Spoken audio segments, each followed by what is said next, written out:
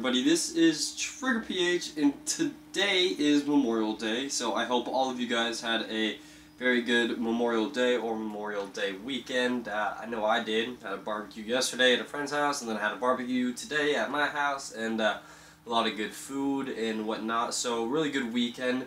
But uh, a couple days ago, I was playing and I was getting super unlucky from boss loot drops in the Dark Zone but I was getting really lucky from supply drops. That's where I killed over 20 bosses, didn't get one gear set piece except for the, the very last boss that I killed. Honestly, it might have been over 30. I, I don't really remember how many bosses we killed, but it was quite a few.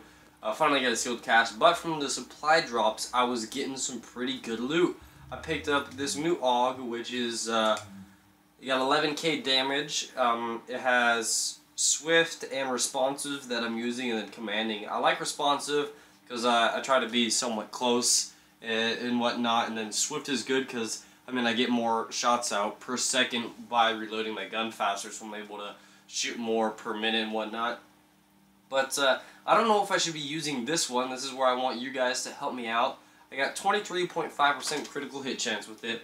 I got a base damage of 11k, and then I have these perks on it, swift and responsive, okay? So we'll be looking at that. We're at 222k primary DPS, that's what it says. I know that doesn't mean everything, that's why I'm, I don't really know what to do if I should have these perks or with 11k base damage, or let's go to my other AUG, which is going to be in my stash real quick. Here it is. It is a 182. But uh, the gear score, I don't really think that matters too much. It's just a number that raises your gear score. So the critical hit chance on this one is 1.5% less, and it has less uh, base damage, less uh, by 0.6k. So instead of 11, we're at 10.4. Instead of 23.5, we're at 22. But um, the perks on it, I got Ferocious. I don't have that one unlocked, but we do have Brutal and Responsive. So they both have Responsive. And uh, but this one has brutal, 24% headshot damage when using this weapon. I don't know if that 24% headshot damage is worth, because uh, when I put this one on with the same attachments and everything, the same attachments here, I have 214.5k primary DPS. Like I said, I know that's not everything. Uh, I mean, this AUG right here, I think it has that higher DPS just because of the reloading. But if I'm going in PvP, do I want the, where is it, do I want this one with 11k base damage and just responsive and swift, because, I mean, swift is good in PvP too, because when I'm killing people and I reload, when I run a, run a car or something, or if they're trying to run away, I'm going to want to finish them off quicker, right? So 13.5% means I just reload quicker, start shooting him again, or would I slay people more with this one, even though it's less? So that's what I need you guys to help me out on. Um, yeah, I really, I really just don't know what to do. And then I also got a new mask. Where's he at? Yeah, this striker's mask right here. I think it's this one. Yeah, this one. Yeah, so it has higher base um, stamina if I were to take off these mods. Yeah, see, our base stamina is at 600 right now, and with these ones I'm at 614. Should I sacrifice some toughness. I think I would be at like 333,000. I'd still be at 14.7k skill power, but um, I'm getting that 4.5% critical hit chance you see in the major attributes instead of that extra gear mod slot. Because this one, I have two gear mod slots on it, but with this one, I only have one gear mod slot. But I could take away that 4.5% critical hit chance and I could try and get myself a gear mod slot, which would mean I'm only gaining that plus 14 stamina at the base at the base stamina pretty much. I would only be gaining that 14, which to me it doesn't seem like that much. And I mean my gear score would be higher from a 214 to a 240 if I was using these.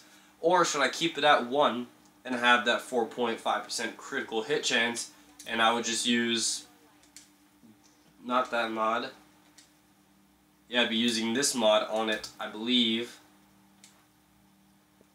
Huh? No, I wouldn't be using that mod.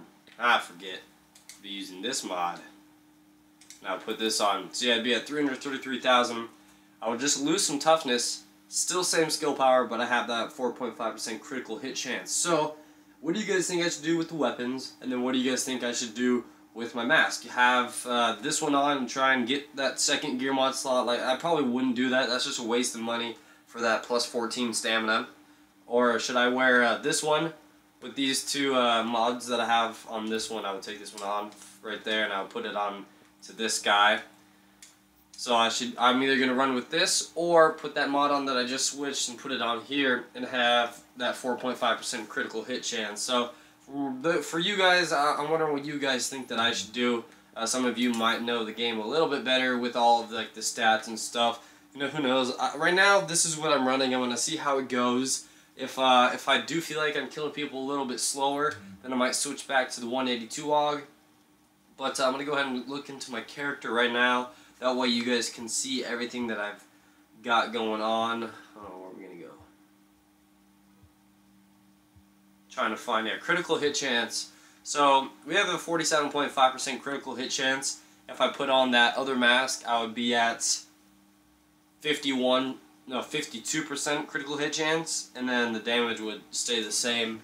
And uh, so I could be at 52% critical hit chance, and then imagine if I put on that AUG with the headshot bonus, I would be at 84% headshot damage, at least with my AUG, because uh, uh, that's with the additional damage dealt with the headshot right there, headshot damage. So, what do you guys think I should do? Honestly, I could do that 182 AUG with the 24% headshot damage, and then use the mask with the 4.5% headshot damage, just, I mean, headshot, not headshot damage, critical hit chance, and I could just, uh, try and stack out my critical hit chance and headshot damage and whatnot. So, know, let me know what you guys think I should do. This video is uh, really just asking you guys what I should do because uh, I'm struggling. I, I don't know what setup is the best because, I mean, 333,000 toughness is pretty good.